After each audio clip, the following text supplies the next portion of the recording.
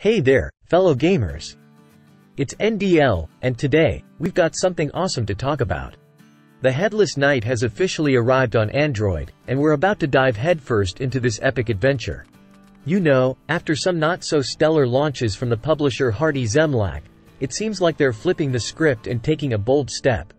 And their latest release, Headless Knight, Idle RPG, is a testament to that change, packed with some major improvements. So, what's the story here? The devil has some big plans he's scheming to invade the human kingdom and take over the world.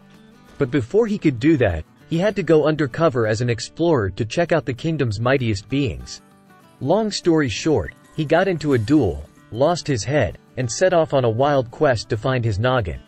Like your typical idle RPG game, you'll be knocking down enemies left and right during your journey. Completing quests along the way will earn you experience, gold, and diamonds, all to buff up your character and become an unstoppable force. Let's talk graphics. Headless Knight. Idle RPG rocks a charming, cartoon-style look that adds a playful twist to the game.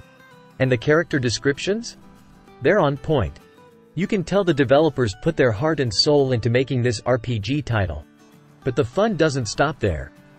As you advance, you'll recruit support characters, and trust me, they get seriously powerful. Build yourself a fiery harem team that'll have your back in battles.